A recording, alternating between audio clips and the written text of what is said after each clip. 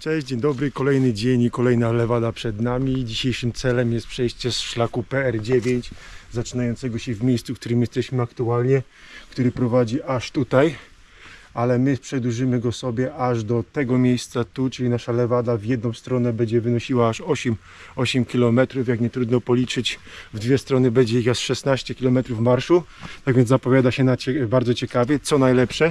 E, W tym miejscu, mniej więcej w połowie naszego spaceru, będziemy przechodzić pod pasmem górskim, które w pierwszym filmie z Madery szliśmy e, na, z Pico de Areiro do Pico Rubio. E, Pico Rubio, tak dobrze mówię? A dziś tunelami przejdziemy pod, pod spodem tamtego szlaku, tak więc naprawdę zapowiada się naprawdę ciekawie. Tak więc bez przedłużania, ja jestem Michał, a tu prezentuję swoje filmy z wizyt różne ciekawe miejsca. Tak więc jeśli jesteś ciekaw, jak to wszystko wygląda, czy warto tu przyjechać i co ja o tym sądzę, to zapraszam Cię do pozostania ze mną do końca tego materiału. Lecimy.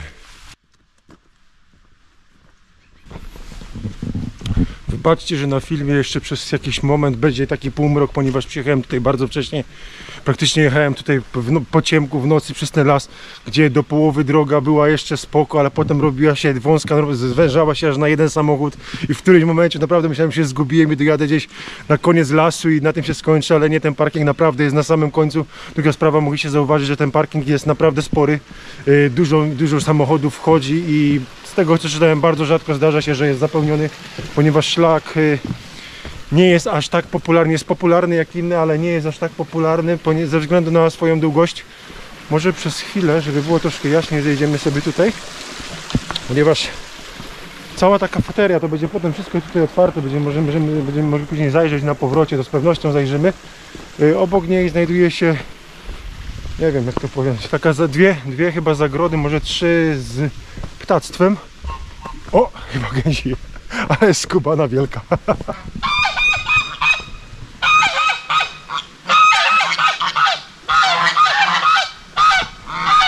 O kurde, dobra, nie będziemy ich stresować. Wracamy na nasz szlak i ruszamy, ruszamy przed siebie. Zobaczymy dokąd nas to dzisiaj zaprowadzi.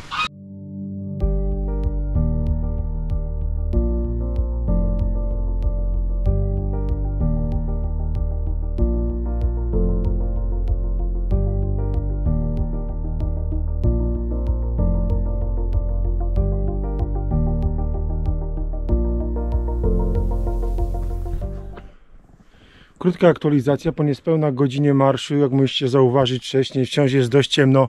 Yy, Jest to taka, idziemy taką typową lewadą, czyli mamy wodę, po, akurat w te, po wodę po jednej stronie, murek i obok ścieżkę. Ścieżka najczęściej kamienista, błotnista, z niezliczoną ilością wystających korzeni, ale płaska, idzie się bardzo fajnie. Yy, bardzo porośnięta zielenią, tak więc widoki są praktycznie zerowe, przez to też i ta, ta ciemnia, ponieważ chmury zasłaniają nam całe niebo, a słońce jest jeszcze po drugiej stronie, tak więc jeszcze przez jakiś czas będziemy musieli się pomęczyć z nie najlepszymi widokami. Druga sprawa, jeśli już trafimy na jakieś widoki, no to jest naprawdę, naprawdę przepięknie. No i przypominam, że lewada ciągnie się wzdłuż tego zbocza na razie, ale cały czas będziemy między 800 a 900 metrów nad, nad poziomem morza, więc jeśli traficie na jakiś punkt widokowy lub czasami spojrzycie y, przy brzegu między tymi krzakami, to możecie się zorientować, że że, że jesteśmy naprawdę wysoko. Ale idzie się naprawdę fajnie, jest chłodno. Dziś mam kurtkę przeciwdeszczową, bo później też jest zapowiadana burza. Y, Jeśli byśmy by byli niżej, może bym jej nie brał, ale że jesteśmy dość wysoko. Jeśli przyjdzie burza, to wiatr tutaj tak wysoko będzie na, na pewno zimny. Y, Na razie co, no nie ma, nie, nie ma, nie ma, nie ma co tutaj dłużej przedłużać. Y, Widoczek jest naprawdę fajny, ale przed sobą mamy jeszcze sporo. Co ja się dzisiaj tak jąkam?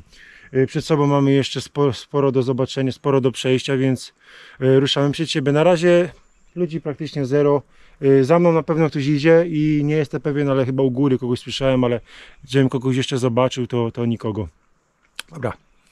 Tyle, tyle z tej aktualizacji. Ruszamy przed siebie i zobaczymy, co nas, co nas czeka. O, pięknie widać stąd ocean. Tam na samym końcu. Dobra. Jak możecie zauważyć, natrafiliśmy na pierwszy z tuneli. Nie wiem jak jest długi, ale lepiej się przygotować na, na dłuższy spacer. Yy, dość niski. No powiem wam, że idę naprawdę, naprawdę yy, skulony. A, końcóweczka. Nie było źle. Uważać na głowę. No, nie był najgorszy. Pierwszy z tuneli nie był najgorszy. Letnim zakrętem, co sugerowało, że y, może być dłuższy, ale ten był akurat króciutki.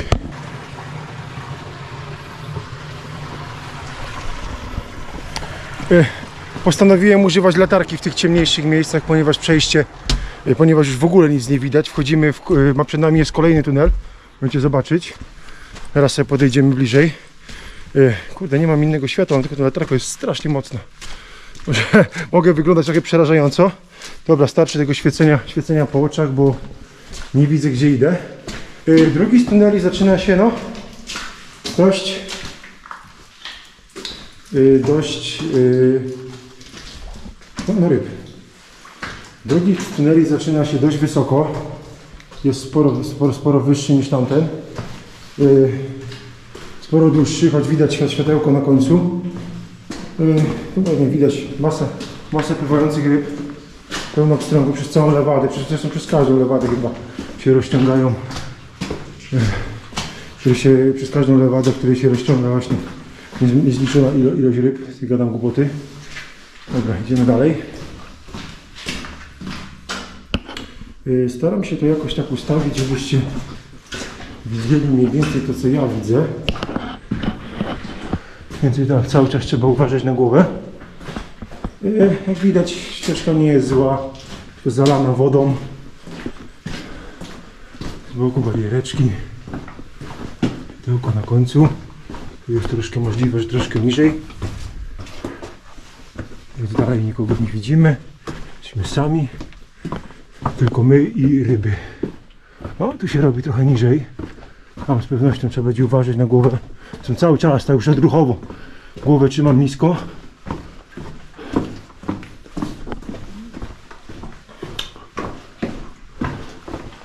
O kurde.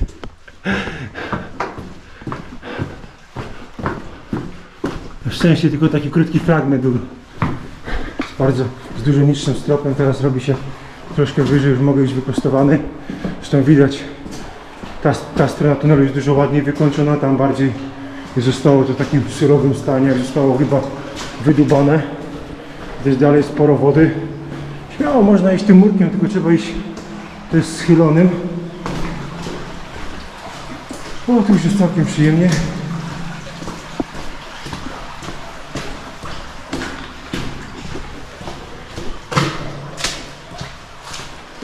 Przydałoby mi się drugie światło, które miałem kiedyś w tej starej kopalni Baryto, ale no, ni- niestety nie zmieściłoby mi się ono już do torby do samolotu. Dlatego mamy co mamy. I tak nie wyobrażam sobie po tych tunelach tutaj chodzić ze światłem z telefonu.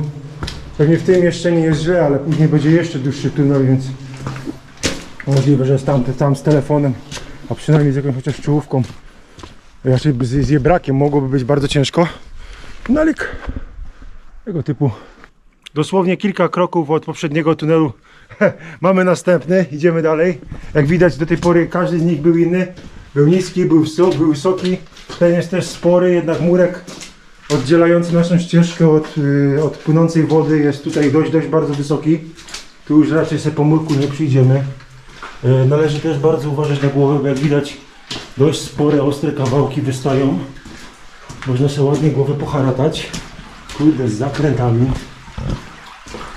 O, i widzę światełko, ale to chyba nie jest do wyjścia. Tu może być.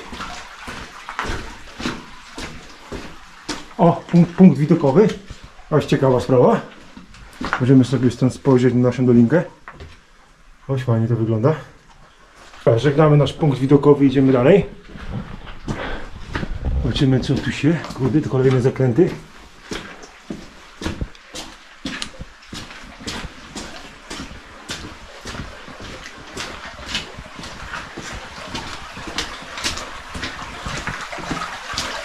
Ale tu jest nisko, no. Tu już bardzo, bardzo trzeba się schylać. Prawie na czworaka. Ja pierdzielę, no. Dość nieźle. O, ku wyjściu. Oczywiście końcóweczka. Na końcóweczce na szczęście możemy, se, możemy się troszkę rozprostować.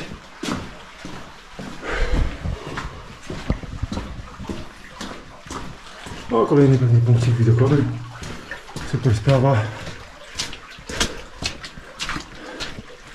Kolejne miejsce, gdzie możemy się rozejrzeć jak wysoko jesteśmy. A jesteśmy dość wysoko. I wychodzimy. Tarka w sumie już nam niepotrzebna.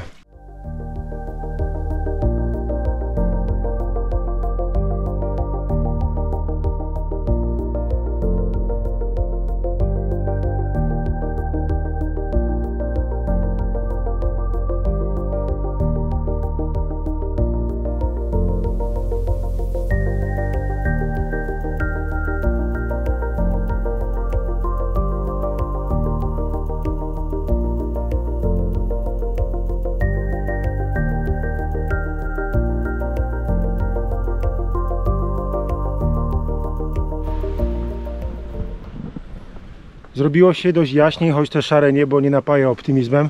Zerwał się dość mocny wiatr. Yy, Lewada, nasze, nasza ścieżka naszą le, lewadą troszkę się zmieniła. Z jednej strony mamy wodę, idziemy po takim wąskim murku, który, który należy do części lewady, a z prawej strony nie ma chodnika, tylko jest prosto, taki daleki spad w dół. No, podejrzewam, że nie jednej osobie tu się mogło zakręcić w głowie. Jest naprawdę wysoko. Na szczęście na szczęście już długo po tym nie będziemy szli, kończy się. Ale powiem Wam, że takie spacerki to są naprawdę emocjonujące. serce, serce samo bije szybciej. Co jest coś niezłym, fajnym, fajnym przeżyciem. O, jakie miejsce akurat gorzej zabezpieczone. Pozrywane metalowe linki. E, to mnie trochę dziwi, bo uważam, że na tyle osób przyjezdnych każdego roku w to miejsce odwiedzających, to takie rzeczy powinny być raczej naprawiane na bieżąco. Możliwe, że jednak, że tych wypadków jest na tyle mało, że a, niektórzy sądzą, że będzie co będzie. Yy, warto patrzeć pod nogi cały czas. Nie jest łatwo. Yy, nie mam pojęcia, gdzie jesteśmy. Nie minąłem się żadnego znaczenia. Tam jeden znak był przed, wejściem do tych pierwszych tuneli. Yy, szkoda, że Tunele nie są jakoś oznaczone pod czym aktualnie przechodzimy. Mam nadzieję, że chociaż jak będziemy przechodzili pod tym głównym pasmem, będzie to jakoś zaznaczone, a jak nie, to będę musiał sobie to sam gdzieś później na mapie posprawdzać. Gdzieś tam może yy, powstawiam nazwy tego, gdzie aktualnie jesteśmy, na jakiej wysokości, albo jaką wysokość ma góra nad nami. Oraz ewentualnie jak te tunele mają jakieś nazwy lub jakieś inne są jakoś w jakiś sposób pooznaczane, postaram się tam gdzieś poumieszczać. Yy, na razie no idziemy cały czas, ale muszę powiedzieć, że cały czas droga jest pościutka, niewielkie przewyższenia, żadnych, żadnych schodów w górę, na dół jak na początek. Na początku były jakieś tam takie niewielkie schody w dół, ale to nic specjalnego. Idę, nie wiem, już jakiś czas idę, no mówię, nie ma znaku, ciężko się zorientować, gdzie dokładnie jestem. Ale nic, jeśli natrafię na coś ciekawego, no to za jakąś chwilę zobaczymy się ponownie.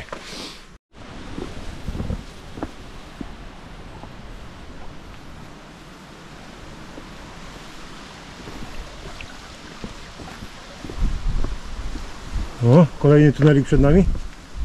Zajrzymy pierw, czy nie jest za krótki, bo wydaje mi się, że widzę światło. Ha! Dobrze mi się wydawało. Dobrze mi się wydawało. Super. Ten był bardzo króciutki. Ale zobaczcie, jak tu jest wysoko.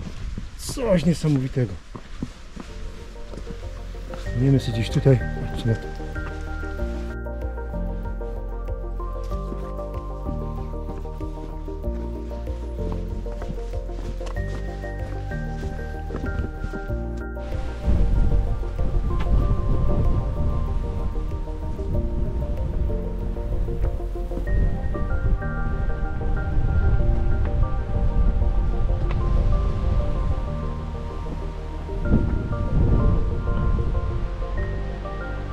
To jest dopiero widoczek.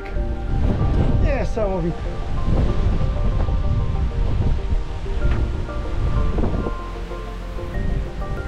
Jakość, jakość naszej ścieżki się wcale nie zmienia. Wieście mi bądź nie, ale trzymam się tego murka pa, pazurami od stóp. nie jest lekko. Naprawdę mówię wam, naprawdę jest wysoko.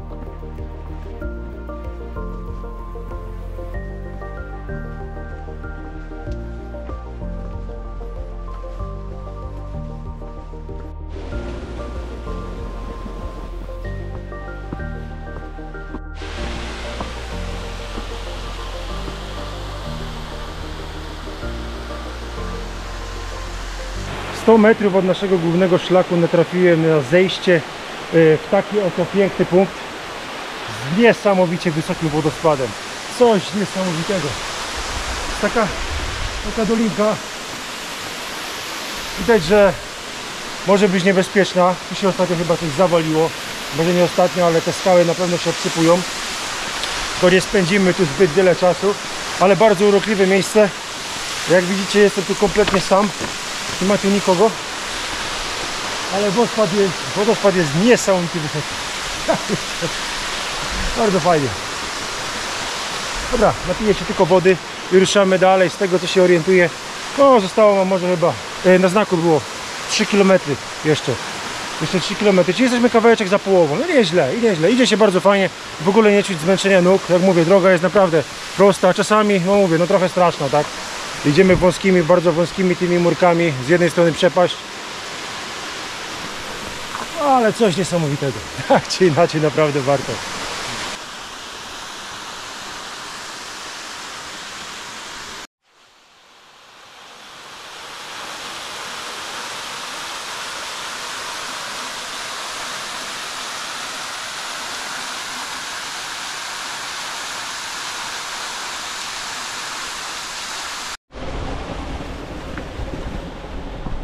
Coś mi nie pasowało, musiałem kurde to sprawdzić i to jest ten główny punkt szlaku PR9 i dopiero, czyli przeszliśmy 6,5 km, bo tak mówię, coś długo szedłem, a nie wydaje mi się, żebyśmy dopiero przeszli 3 km, czyli to jest ten główny wodospad yy, jako głównym punktem ten PR9, a jest kontynuacja dalej do dalszej części i to właśnie z tego miejsca wyruszamy w dalszą podróż.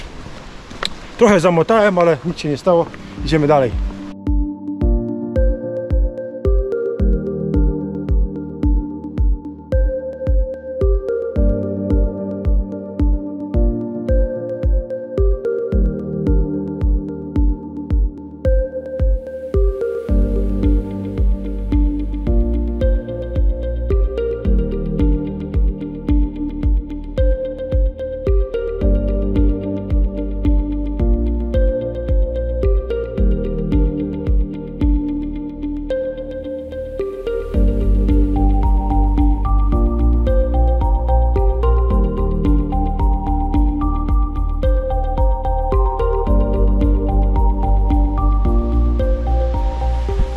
W drugiej części naszego szlaku czeka nas spacer, na kilkuminutowy spacer po dość stromych strodach, aby następnie trafić do takiego punktu e, rozdzielającego rozdzielającego nasz szlak. O, znak pokazuje, że jest tamtą stronę, ale nie byłbym sobą, gdybym nie zobaczył co jest z tej strony, więc najpierw pójdziemy sobie w lewo, zobaczymy co jest na końcu tej lewady, a następnie e, wrócimy sobie do, do tego miejsca właściwego, w którym powinniśmy iść.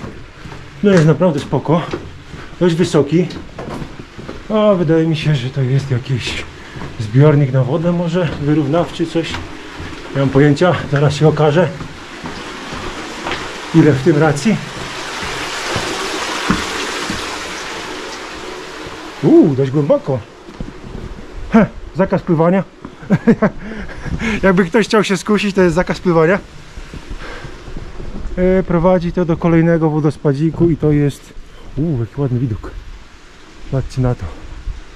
A tam u góry jest chyba ścieżka. Coś mi się wydaje. Aha. Jest po prostu wodospad, taki zbiornik. I tam jest nasz koniec. No, już jesteśmy tutaj, to podejdziemy. Zobaczymy. Aha, tam się ciągnie kolejny tunel tam się ciągnie kolejna lewada. Dobra. Nie idziemy tam, bo to już będzie pewnie za duże odbicie z naszej drogi. Jestem dość wysoko, powiem Wam. Dość wysoko jesteśmy. Z tego morka nie chce mi się schodzić. Dobra. Patrzcie na to. Jaki tu jest widok. Coś niesamowitego.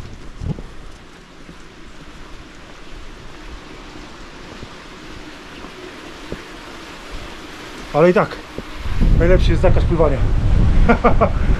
Dobra wracamy na właściwy szlak.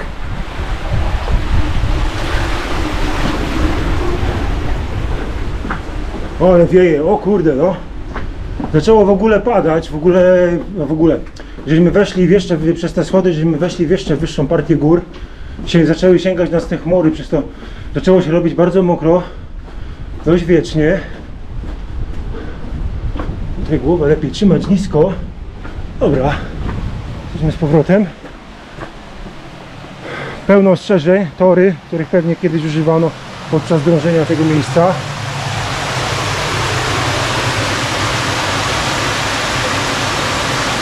Czyli co? Tam jest szlak. Aha. A w ten tunel jest spory oczu. Aha, czyli tam nie idziemy. Na początku myślałem, że będziemy musieli się skierować w tym kierunku, ale najwyraźniej idziemy tędy. No dobra. Czyli, czyli nie będzie tunelu. Przez chwilę naprawdę sądziłem, że będziemy musieli przejść tym tunelem, no ale skoro... O, ale to są wielkie ryby. Ej, ale skoro nie, to nie. Kurde, widok. No niesamowity, zobaczcie. Trzymaj się Michał, bo przecież widok jest niesamowity. Widać schody, którymi żeśmy szli.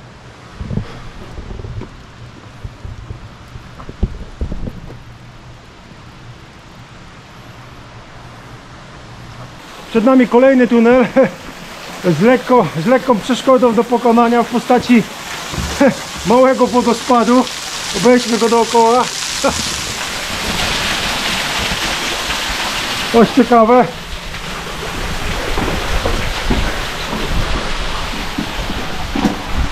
A niewielki tunelik nas czeka. Woda dziś, woda dziś padająca z tamtej strony nie była największa. Podejrzewam, że po jakichś dużych ulewach może być naprawdę problem z przekroczeniem tego. Yy, a przed nami, kurde, kolejny tunel. Nie wiem jak są długie, to jest ciężko, ciężko się do nich przygotować. Bo jest dość ciepło. O kurde, ten jest kręty, może być długi. Tak jak mówię, żaden z nich nie jest jakoś sensownie oznakowany. Bardzo bym chciał wiedzieć gdzie jest, ale widzę światło na końcu, więc chyba nieźle. No tutaj jest dość niski. Ale się przynajmniej troszkę uspokoiło. Na zewnątrz naprawdę robi się nieciekawa pogoda. Mam nadzieję, że już wyżej raczej nie będziemy gdzieś wchodzić. Może byśmy szli totalnie w chmurach. E, Standardowo patrzeć pod nogi, ścieżka, no trochę z błota. Może być ślisko czasami. Tu jest dość wysoko, ale jak widzicie są miejsca, w których e, wystają bardzo ostre kawałki ze skał. Całe szczęście mamy murek, możemy sobie, możemy sobie po nim spacerować.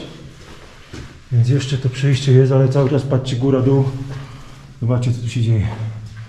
Niesamowite ostre kawałki wystają. Kurde no. Jest nieciekawie. Jest nieciekawie, bo jest coraz niżej. Staram się jakoś iść tak, żeby nie, nie przyłożyć głową. Ale może się to udać. Wiem, że chcę się schylać, w międzyczasie trzeba się patrzeć na dół, na górę. Musi być pełna koordynacja ruchowa. Ale dobra, już mamy to prawie. Miejmy nadzieję, że zrobi się ciut wyżej. Jest jakaś odnoga. Punkt widokowy. A zejdziemy, czemu nie? Sporo wody, ale gdzie nas to wyprowadzi. A, ten sam widoczek co tam. Zarośnięte. Oko, wracamy do naszego tunelu. Przejście przez to jest strasznie męczące. Minąłem jedną osobę wcześniej. Jedną osobę. Przed jakiś chłop. I tych głosów, co były za mną wcześniej idąc, nie spotkałem jeszcze. Więc albo cofnęli się, albo idą dużo wolniej. Widoczek stąd ładnie jest. Jest ładnie.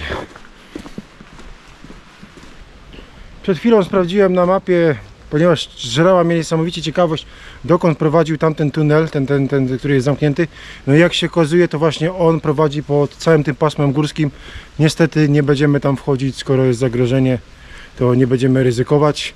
Ale za to mamy kolejny tunelik na naszej, na naszej trasie. Nie jest zbyt długi, ale jest dość niski. Z tego co widzę, jest dość niski. Staram się mniej więcej trzymać to światło tak, żeby kamera mnie też widziała, gdzie idę. Ale uwierzcie mi, że nie jest to łatwe. Nic, idziemy, zobaczymy. Tutaj kurde strasznie dużo wody. Środek murka, patrzeć na głowę.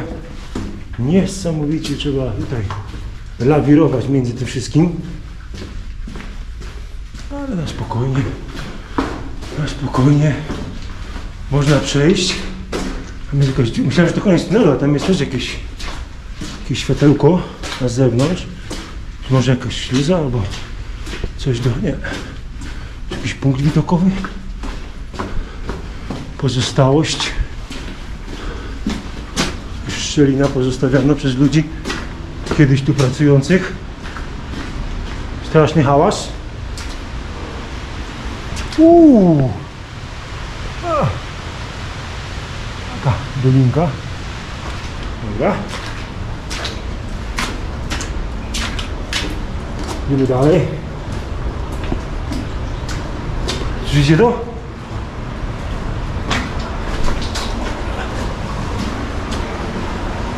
Straszny hałas. Coraz więcej wody.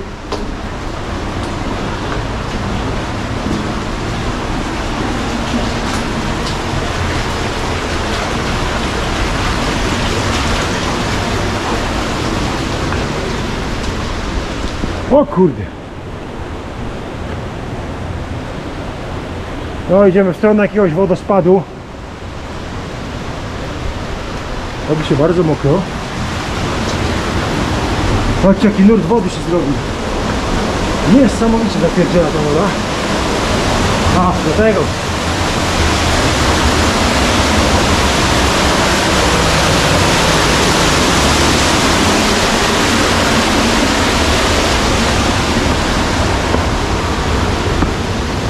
Dobra. Dalej nie podchodzimy. Mamy kolejny ładny wodospadnik.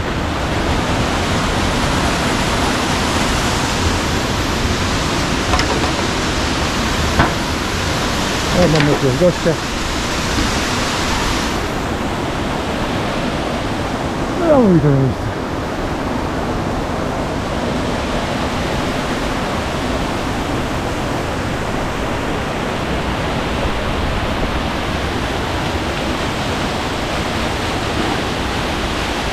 Ej.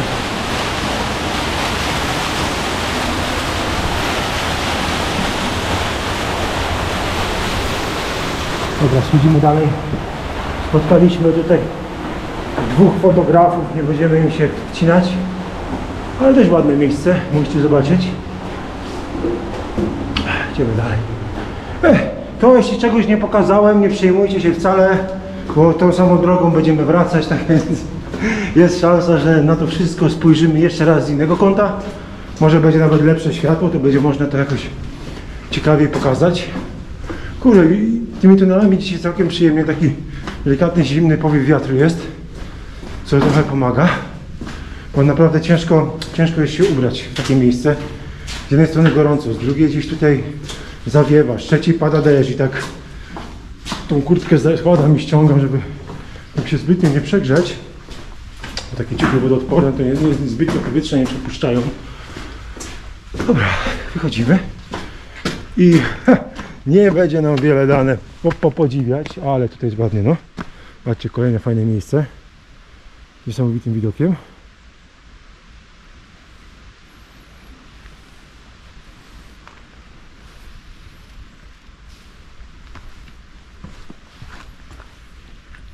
Cały czas nafalowana w dół, no jest kawałeczek, ale nie dane nam popodziwiać. Idziemy, wchodzimy w kolejny tunel, idziemy dalej. Słońce, wiermia, szuli, tak jest.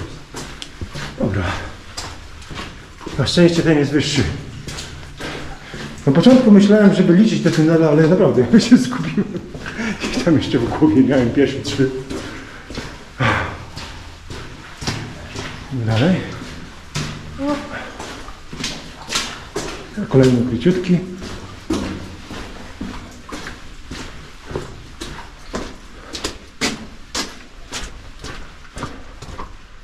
Ale ładne widoczki w górach. Dwie sekundy, pierwszy skręt w lewo i mamy kolejny tunel. Wszystkie mniej więcej już teraz wyglądają tak samo. Nie ma już takich pięknych, poszerzonych wejść tam wyjść. to od razu takie, wszy- wszystko takie lite gołe skały. Tak jak mówię, każdy, na każdym z nich bardzo uważajcie i patrzcie pod nogi i trzeba zwracać uwagę na te kolce, no zobaczcie, wszystko takie ostre, dwa jest troszkę wyżej, ale jak jest niżej to wygląda dokładnie tak samo. Można sobie nieźle głowę rozciąć. Tego byśmy raczej nie chcieli. Ale to też fajnie widać, jak składa się. Całe te wszystkie góry składają się z różnych warstw, różne rodzaje. Czy to lawa, czy to jakieś inne. Zobaczcie tutaj takie ostre. Sakra o, tu wszystko czerwone się robi. Heh. niesamowite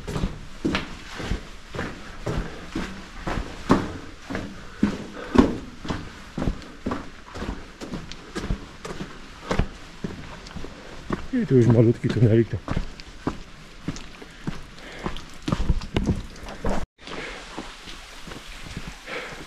Dotarliśmy do końca i niestety nasz piękny wodospad, który miał być zwieńczeniem naszej wędrówki i okazuje się, że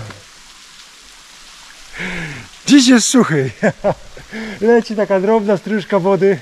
Normalnie tu jest tego dużo więcej. Normalnie, no często spotyka, często spotyka się na zdjęciach, że jest dużo więcej, ale niestety nie dziś. Ale jak to mówią, Y, czasem droga jest nagrodą, a nie cel, tak? Czy jakoś tak. O, widzicie, dalej z tym sami, dość niezłe echo. Myślę, że za chwilkę tu posiedzimy, odpoczniemy i powoli będziemy wracać. Y, Myślę, że drogę powrotną, no możliwe, że już będę nagrywał trochę mniej. Nie ma sensu pokazywać w sumie tych samych rzeczy, chyba że już się natrafię na coś naprawdę fajnego, no to wtedy na pewno włączę kamerę i coś poruszę jakiś temat, no a na chwilę obecną o, jest jak jest. Przyznam, że z większą ilością wody byłoby naprawdę, naprawdę bardziej imponująco. Ale nic, mamy co mamy.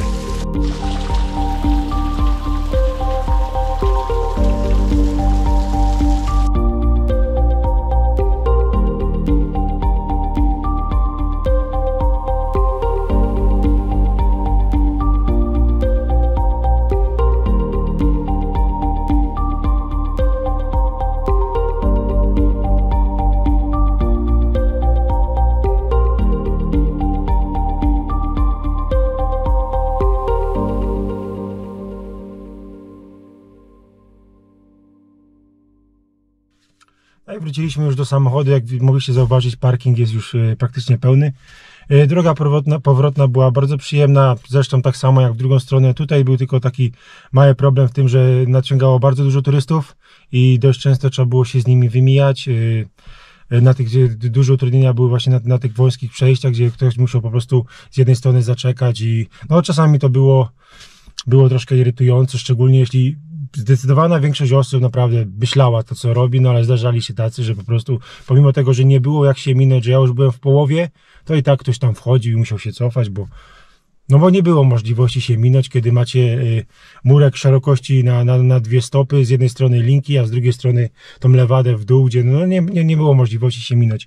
Ale tak poza tym to naprawdę fajny, naprawdę przyjemny spacer, y, nie męczący, no może końcówka, jeśli pójdziecie w tą drugą część, no to te schody w górę mogą wymęczyć, ale poza tym naprawdę fajnie, wystarczy iść, patrzeć pod nogi, y, patrzeć pod nogi, patrzeć co się robi w tunelach, no oczywiście dobra latarka, patrzeć pod nogi, przede wszystkim patrzeć na głowę, żeby gdzieś tam nie zahaczyć o, o te wyskające, wys- wystające skały, bo można sobie naprawdę zrobić krzywdę, ale jeśli chodzi o całe miejsce, naprawdę polecam.